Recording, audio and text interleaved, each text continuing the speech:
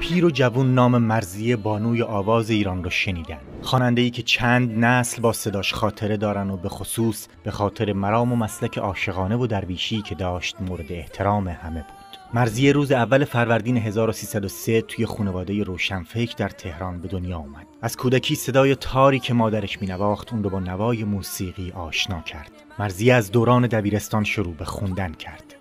اون هم تو فضایی که آواز خوندن زن از طرف آخوندها و حتی فضای اجتماعی حرام بود و اون به عنوان یک خواننده زن باید موانع زیادی رو پشت سر میذاشت. مرزی برای اولین بار با کمک استاد روح الله خالقی ابوالحسن سبا و مرتضا محجوبی در رادیو شروع به کار کرد. با سر کار اومدن آخوندها مرزی از خوندن محروم شد تا اینکه در سفری به پاریس در سال 1373 با سازمان مجاهدین آشنا و شیفته اونها شد. از اون تاریخ به بعد مرزی مرغ غزلخان ایران دوباره آواز سرداد و کنسرت ها و ترانه های زیادی در کشورهای مختلف از جمله در آمریکا اجرا کرد. دیدید کنسرت ما سیاسی نبود. البته من خودم سیاسیم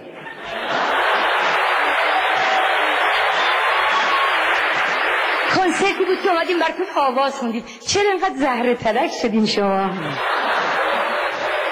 ایرونی که ترسی نیست. ترسین از مجاهدین. قدر مسلم این که مجاهدین ترس و وحشتی اجازه بدید من عرض داشتم آقا ترس و وحشتی ندارن. از مجاهدین کسی نباید بترسه.